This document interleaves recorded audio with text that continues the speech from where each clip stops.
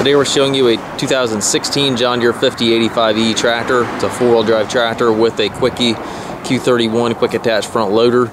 Tractor has 85 horsepower. It's in excellent condition. Has just over 850 hours on it. Paint's in really nice shape. Does have the front grill guard. It's got the global style hookup for your uh, bucket quick attach. Bucket does not look like it's been used.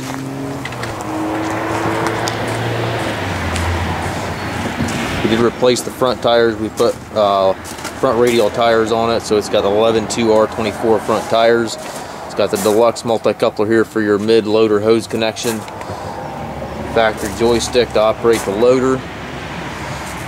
16930 tires in the back here are, are in really nice shape. Pullable rollover bar, rear work light, stackable dual hydraulics, 540 and 540E PTO telescopic three-point arms also has the stabilizer bars.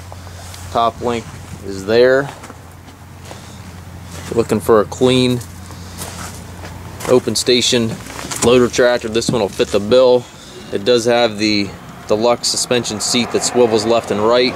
Also has the tilt and telescopic steering wheel. Left hand power reverser here allows you to change direction without clutching.